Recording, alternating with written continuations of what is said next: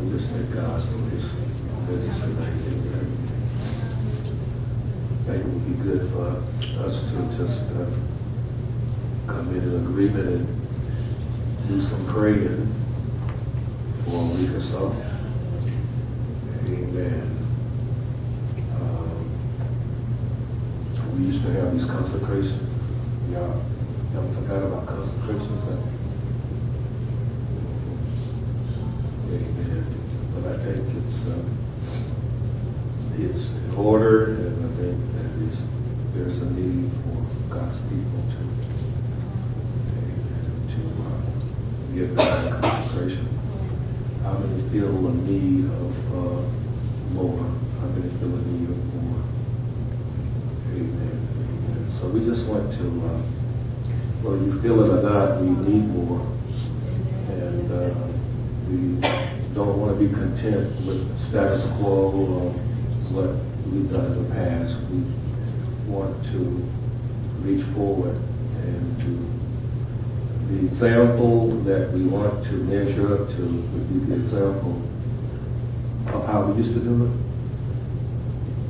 Y'all say amen? Amen. No, that's not how we use The example that we want to measure up to is the example that we see uh, exemplified in the book of Acts. I think that would be a better example than what we used to be. Amen. Amen. Amen. So I just want to encourage you next week to uh, to make some time in your prayer in your schedule, and uh, we want to devote it to prayer. And in order to get everybody here, everybody in, we'll have to have it day and night. Amen. We today we had a real good group, and uh, we, prayed there. And we told them that we would be uh, doing consecration on next week. That means fasting. I believe that we can all, uh, this time, get back to fasting, absolute fasting. Drink common water, you, you can do it a lot easier.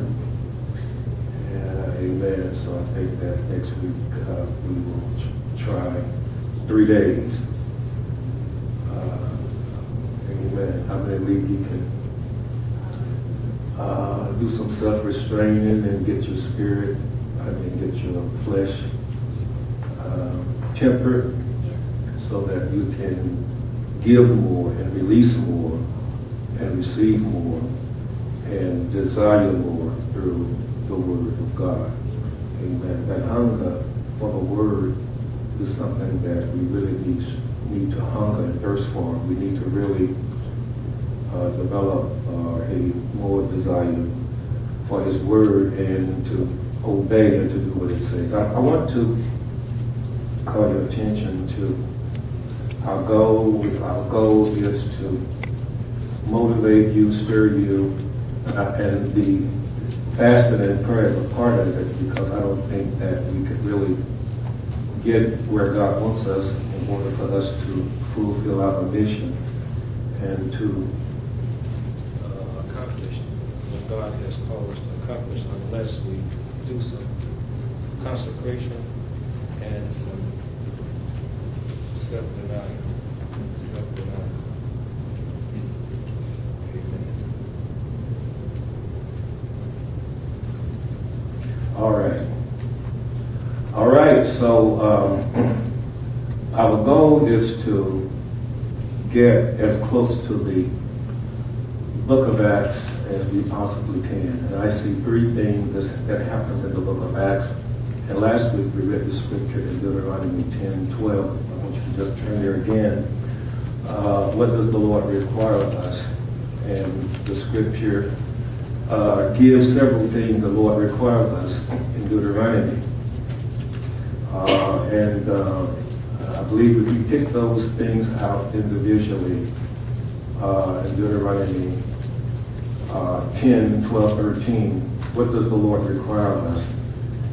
Amen. One thing, He wants us to be on fire and not just sit up here and just look and stare when prayer is being prayed. I mean, amen. You know, that's sad. Y'all, y'all, y'all don't think that's sad.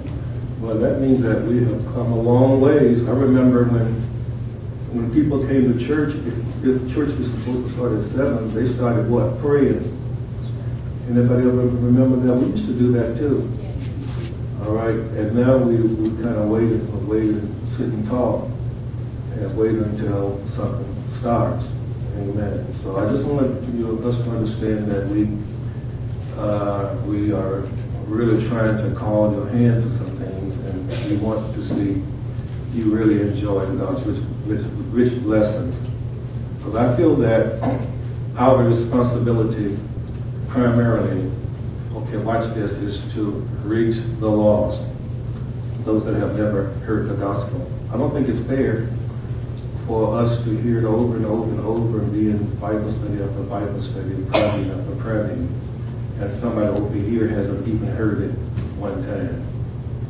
I don't think that is quite fair. And we've got some heavy scriptures that we're going to be sharing with you that really are, uh, rebuke us along these lines, being content, being satisfied with our life and caught up in the things that we're doing and at the expense of neglecting the things that God has primarily uh, called us to do. The lost over here, and then you have lost people in the church people that are, big slide, backslide off track, they're not consistent. They don't read the Bible, they don't come to prayer meeting, they're sporadic. Um, and they have no life and no uh, degree of servitude. They are not really serving the Lord.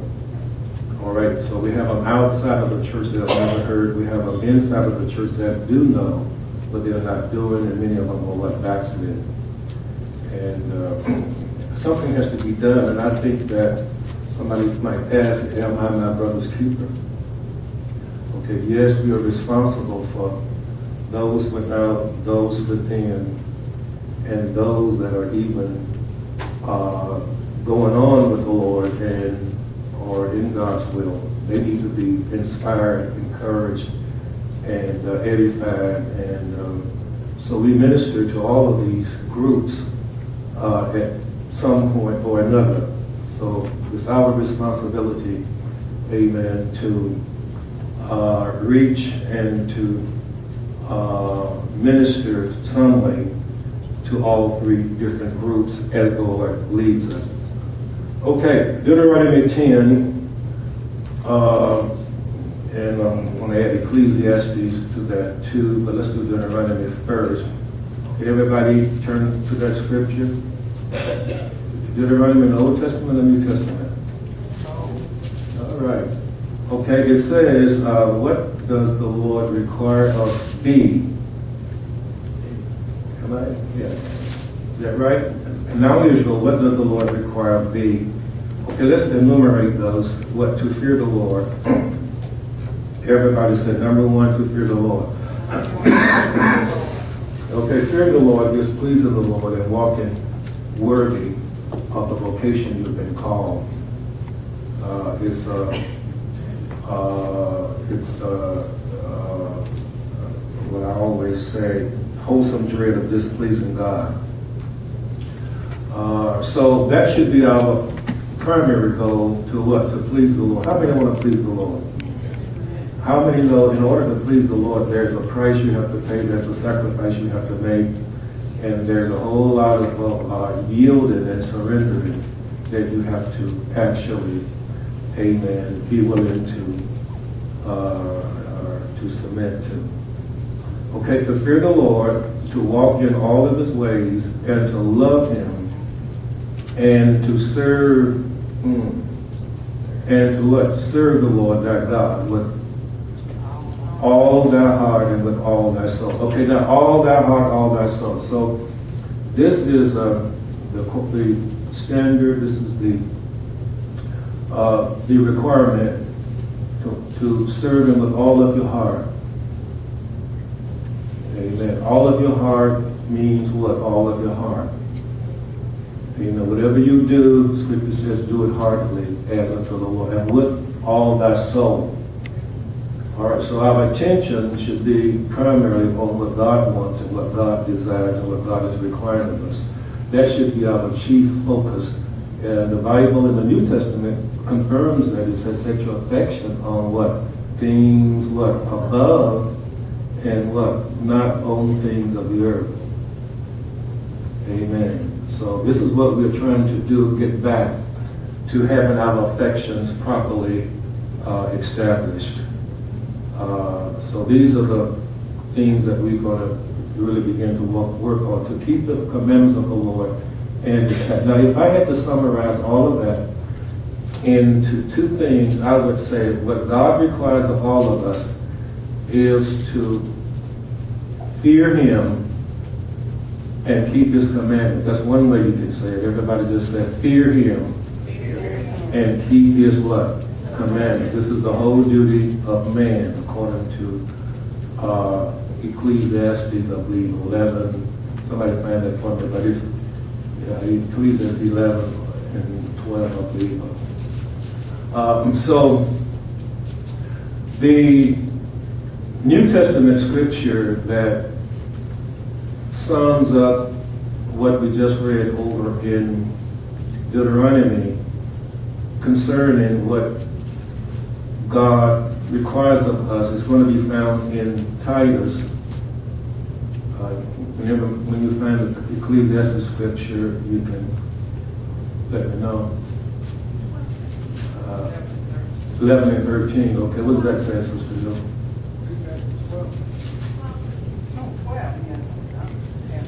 Okay, Ecclesiastes what, 12? Okay, what does it say? Let us hear the conclusion of the whole matter. Mm-hmm. Fear Mm-hmm. keep his commandments. Mhm. For this is the whole duty of man. Okay, this is the whole duty of man, because what? Keep on reading. For God shall bring every work into judgment, Mhm. every secret, whether it be good or whether it be evil. Okay, so God is going to bring into judgment for the believer, this is the judgment seat of Christ. Every what? Every Secret. secret thing. Okay. All right, so basically, God is expecting us to obey Him and uh, keeping His commandment and to serve Him. Everybody said obey and serve. Obey and serve. Okay, obey and what? Serve. So serving the Lord is basically what we are focusing on, and we know that we have to obey in order to what? Serve. But we want to place a lot of focus on serving the Lord uh, with all of our heart. And so serving the Lord is basically carrying out His will. Uh, the work that Jesus began to do, you can see that very plainly in the book of Acts. The things that Jesus began to do and teach, these are the things that we are to continue because we are here in Jesus' place. Jesus is at the right hand of the Father, interceding for us, and we are down here, what, carrying out the work that He has begun. so, uh, in Titus 2 11, uh, for the grace of God that bringeth salvation hath appeared to all men. Okay, so all of these things that God requires of us is highly possible. We can accomplish these things. We're able to walk in all of His ways. We're able to fear Him. We're able to love Him with all of our heart and soul. But it's not going to be through our human effort and our human strength and our human abilities. It's going to be through the grace of God. And we have to, uh, okay, in the first verse, uh, we, we can see the grace of God bringing salvation. That's the first work of grace, and guess we can just say the grace of God brings what? Salvation. Amazing grace, how sweet the sound that saved a wretch like me. I once was what? Lost, but now I'm found. And I was, uh, what is that, the other part? Blind, but now I see. So, amazing grace is just the first aspect of God's grace. And uh, so we don't want to leave it at, a, at just salvation, grace that brings salvation. But the Bible says the grace that brings salvation has appeared to all men, teaching us that denying ungodliness and what? Worldly lust. That means that we got to develop some type of self-restraint We got to come to the point where uh, we are willing to deny our flesh and bring our, subdue our flesh and bring our flesh into subjection to the human spirit, the recreated human spirit. Because without, the Bible says that we can't please God in our what? Flesh. So that's the main objective, but the grace of God is there to what? To bring us into harmony with God's will, not only spirit-wise, but in terms of our what? Physical members. Amen. Enables us to what? Yield our members as instruments of righteousness unto, uh, unto God. Okay, that, that is so important uh, for us to understand that it's important for our members to be brought into what? Subjection. God is looking for what self-restraint. To tell the truth, that's one of the big uh, components of God's judgment is uh, how you, how well you were able to subdue the human body or the flesh while you were running the race. Because the quality of your works are going to be to a large extent based on the ability that you have to use self-restraint. Because if you don't really use self-restraint, the things of God is not going to be what? That it's not going to be priority. Amen. We, will get distracted and you know, we're here and there and we'll be putting everything, everything ahead of God. And uh, remember that we're in a race now. Remember that God is looking, taking note, and the Word of God is the thing that we're going to be judged by. The Word of God.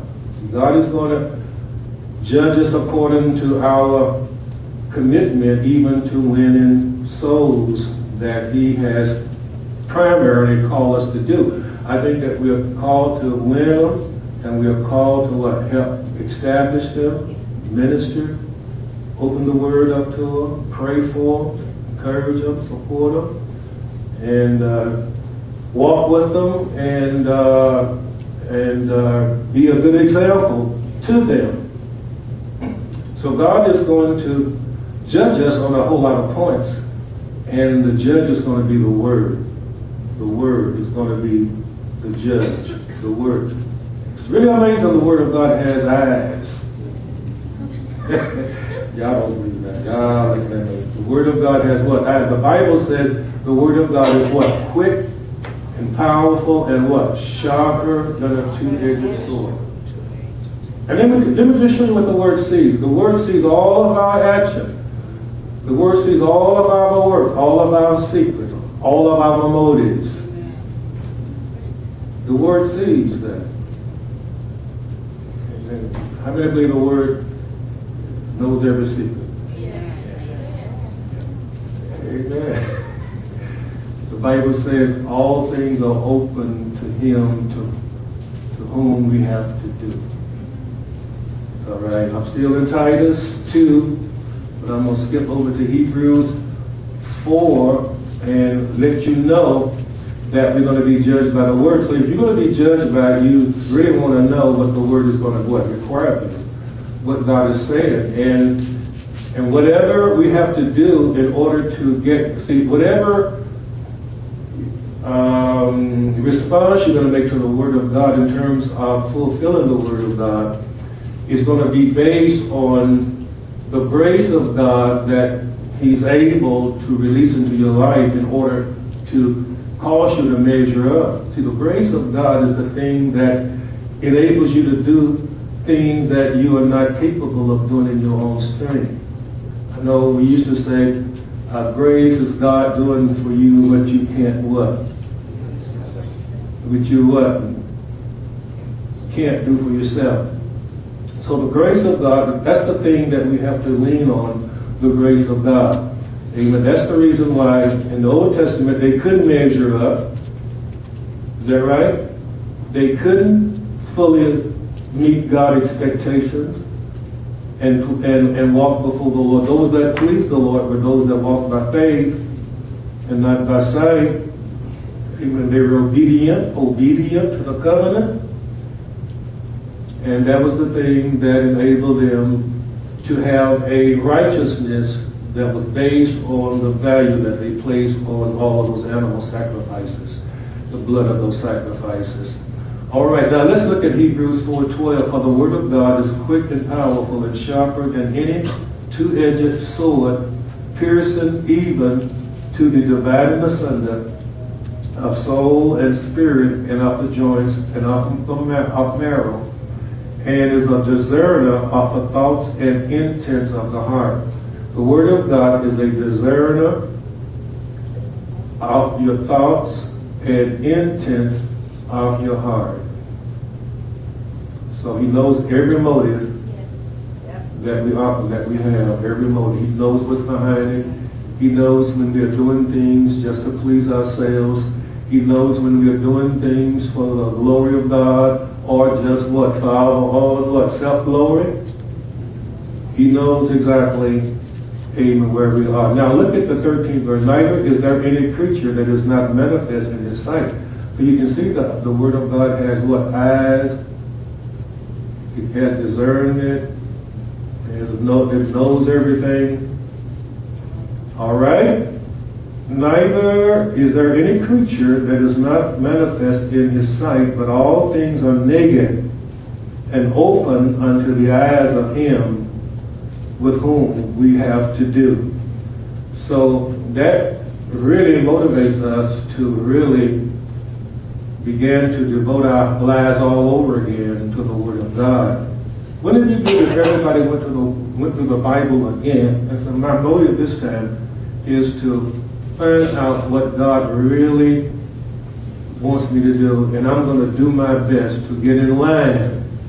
If I'm not in line, if I don't have the ability to get in line, there are some graces that God wants to release into your life that will give you the ability to get in line with the Word of God. So if we yield to the grace of God that has already been given to us, the grace of God that brought salvation, that's the first thing that He does. But the grace of God wants to what?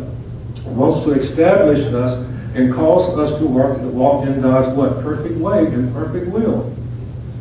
He wants us to get control of our what? Bodies and our lives. In other words, he wants us to live so that he can what? Be fully manifested and exalted through us. I, am I speaking to the pews tonight? Everybody tired? You want to go home? All right, so See, that's very important. Today I asked the question to those. I said, why does God want us to live godly, soberly, and righteously in this present world? See, we call that standing grace, or we call it, uh, what else, keeping grace, or sanctifying grace. But it's a grace that, amen, that God releases into our lives, amen, in order to get us established and get us purged and cleansed from all iniquity. Because we can't, we, we will never be zealous or excited about doing God's will and all of these things that God wants us to do, the things that God delights in. Bible says more joy in heaven over one soul, one sinner that repented over what, 99 that doesn't even need none. Amen. Amen. So, so uh, keeping grace, standing grace, getting, you know, get, um, overcoming grace so that we can live overcoming lives, so that we can have a single focus, so that the things of God would become first and foremost to us, and there will be a real hunger and a desire to walk worthy of the vocation that we've been called. See, being zealous for God is not something that you just what accidentally fall into. Being zealous. See, the Bible says God's objective is to purge us from all iniquity. Amen. So that we will become zealous of good works. So we have amazing grace, which will be saving grace. We have um, standing grace, overcoming grace. In other words, uh, the Bible says that we overcome uh, by the blood of the Lamb and the word of our testimony and through the abundance of grace and the gift of righteousness, we reign. That means what? We rule, we control, and we what walk victoriously in this life. So that's the grace of God that God wants us to operate in. How many can say amen? And when we are overcoming, when we walk, amen, pleasing to God and you are overcomers, and we're able to stand against all of the distractions and the works of Satan and the works of the flesh and all of that, then it really sharpens our appetite and desire to please God and to what? Walk in all of his ways and to be zealous of good work. So there are three aspects of God's grace. Saving grace, everybody just says saving grace. And the grace of God brings, amen, all of these, makes all of these available and accessible. The grace of God that brings what? Salvation. How many can say amen? How many glad you're saved? Amen. amen. How many glad that not only did God save you, but God has also taught us, teaching us how to what? Walk victoriously, amen, in our walk in this present world.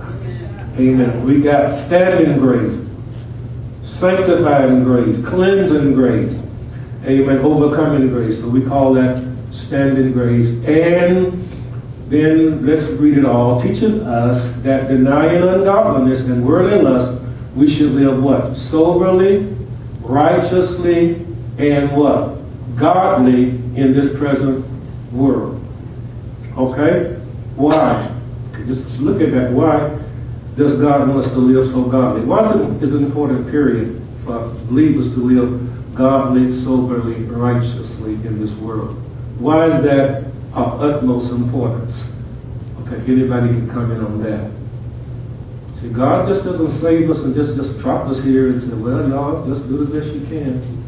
Okay, Sister Denise, okay?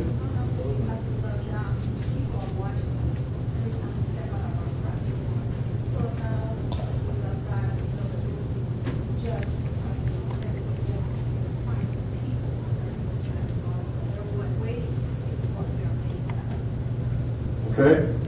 Very good. Now, you had somebody here Sunday, and uh, you believe that your life had anything to do with that?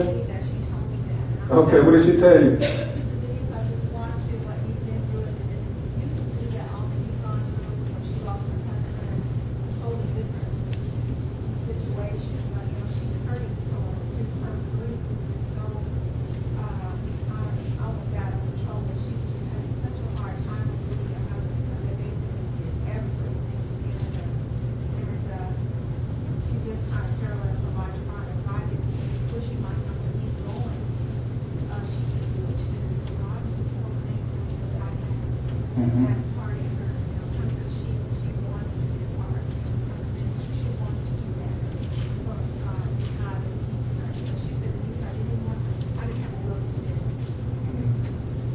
You know, that is so important for us to take time and attend to those that are having challenges. And I think that uh, somebody testified Sunday that uh, certain ones of you have been instrumental in ministering to them uh, in their challenges that they were going through. So I think that uh, this is the main reason why God wants us to get established and wants us to be stable and to be in control of our what lives so that we can be what? Helpful. We can be instrumental.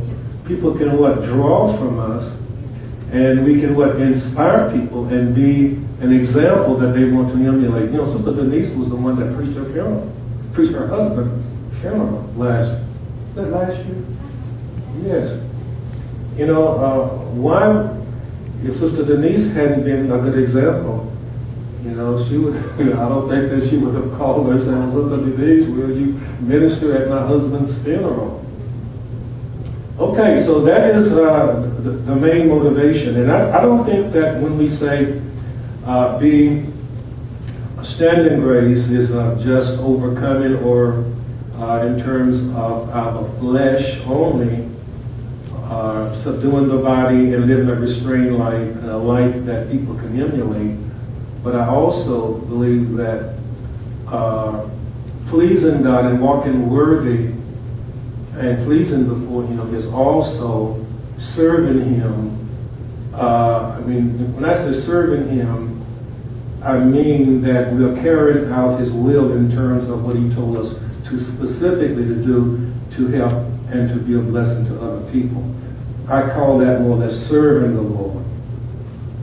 So there are sins of omission that God wants us to what uh, uh, overcome. I mean, uh, sins of commission, and then there are sins of what omission. Okay, so uh, we want to keep that in mind. You know, none of us here are doing obscene things, walking according to the flesh, and you know, for the most part, all of y'all seem to be good people. I doubt if anybody cursed anybody out today. Not if anybody had any bad thoughts.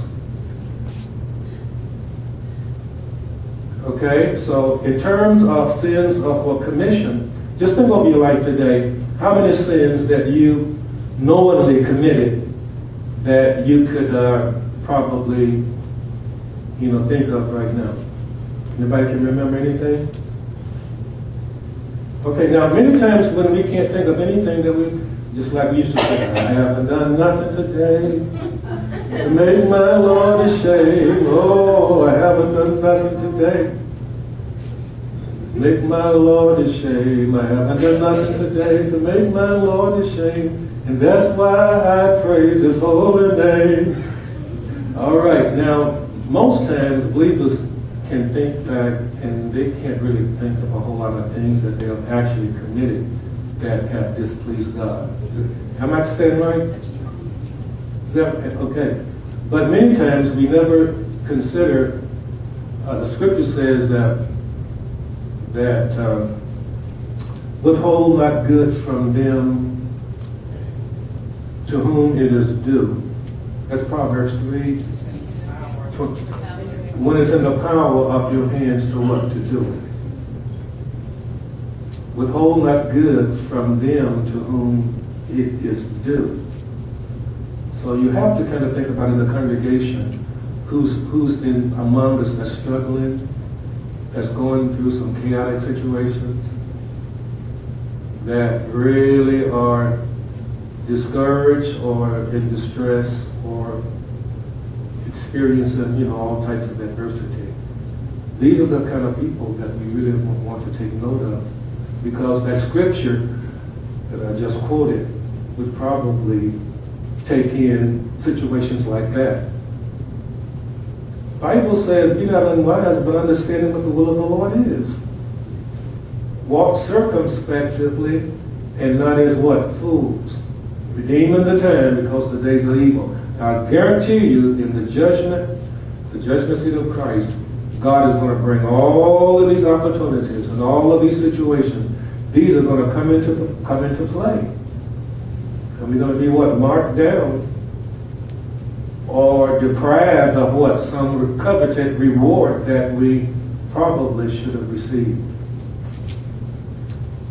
And I don't think that we are building on that uh, we call it building on those that build upon gold, foundation of gold, silver, and precious stone. Then some build on what? Wood, hay, and what? Stubble. So we need to understand what type of foundation we are what building on. There's a half commitment, half-hearted commitment, and uh, people among us going through changes, and we're not doing anything about it. When the Bible says, "Withhold not good from them to whom it is due when it is in the power of thine hand to do it. Wait a minute, there's another one. First John 5, 14 to 17. I can't remember exactly, but I can find it. It says that he that knoweth to do good and uh, doeth it not to him, it is what? Sin. Okay. So those are the issues that we want to focus on, and that's the reason why I'm uh, going to call a consecration, and we're going to accentuate a whole lot of these things that uh, comes in the sins of omission. Is that right, First John 5? Sister Hill? Do you see it? Okay, well, um, but anyway, uh, it here, I'm gonna give it to you, so, so y'all already know, I know where it is. James four seventeen. And, and Malachi three eighteen, those are three scriptures that really come down real hard on those that are, are, um, probably neglected to do some things that you are capable of doing. Okay, you have fallen short in that particular area. Okay, so that's the reason why we need more grace. Everybody just said we need more grace. All right, how many believe that God has an abundance of grace? How many can say amen? God has what? An abundance. That's the only way you're going to be able to fulfill God's will. You're going to have to have what? Amen. That abundance of grace that God has has to be what? Released into your life. And the way that that grace is released into our lives, uh, then the Bible mentions about uh, all of these things here. The grace of God that brings salvation, that's how it is released. The grace of God that brings salvation, that comes by faith, right? When we get saved, is salvation by what? Faith. All right, then teaching us that denied ungodliness. So that grace comes by uh, knowledge, right? Grace and peace is going to be multiplied through what? Knowledge. Okay? All right? And the uh, the grace of God that enables us to be zealous of good works, okay, that's going to come through faith, is going to come through love loving the Lord, sincerity, insin- insincerity, is going to come through faith, it's going to come through humbling yourself. Uh, that's what the Bible says. If we, uh, God resists the proud, but He gives what? Grace to the what? Humble. Okay, so we got to humble ourselves. We got to feel a need and really get back to a real hunger and, uh, and a desire for more God. And that is the thing that fasting will help us to cultivate and to develop. David said, I humble my soul with what? Fasting. And then my prayers begin to return into my own bosom. And the Bible mentions that uh, fasting, uh, David said, you know, that's the time that you really begin to see how far, how far short you have, uh, you know, come. And that's the time that you begin to cry out for help and mercy and ask God to restore the joy of your salvation. Amen. Praise God. Amen. How many of you know that when the joy of your salvation is restored, then you can teach, then that desire to teach sinners, mm, so how does that scripture go? Teach sinners their, their ways and tra- trans, yes, sinners will be converted. So then you say that, then say that again. That's good. Amen. See, that comes through what? Humbling yourself. So periodically we're going to have to what? Get back to where we started out. Otherwise, we're going to what? We're going to just be playing God. In other words, just going through the motion and spinning your wheels accomplishing what? Very low. And I want to see this. I want to see ministers and leaders. Y'all hear what I'm saying? I want to see ministers and leaders promoting what I'm promoting. You know, sometimes you never hear leaders talk about what? The need of what? Prayer and Amen. I mean, y'all need to talk about the same thing. I mean, I'm not. I mean, if I'm the only one, Uh, you know, it, it's not going to be that effective. Well, I guess I, hit, hit a bad note. I'm talking about soul winning and, and, and ministering to people, developing a life, like we start what, ministering and helping people. Amen. I want to hear somebody else talk about that. So that Denise, next time you get up there, amen. Hit it. Yeah, last, you did do it last week, no, fact, week before last. Okay, let's all stand. Uh, but uh, our focus is soul winning, and uh, we're going to be hitting it real hard. And we want you to continue to read the book of Acts. Everybody said the book of Acts. Amen. And we've already read the book of Matthew, I'm sure. And uh, Sister Mary Ann, is that, that Sister, who's that? Sister Samuel, why y'all sit so far back? Yeah, Y'all, y'all, y'all gonna try to slip out on me? Okay, you came in late. All right. Oh, I'm glad to see you, Sister Sandra. I said, who's that good looking woman on Sister Mary Ann got with her? I had no idea.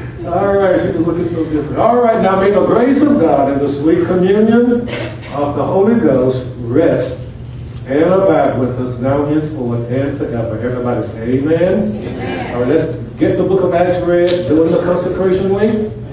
And we're going to be denying our flesh. Everybody say denying the flesh.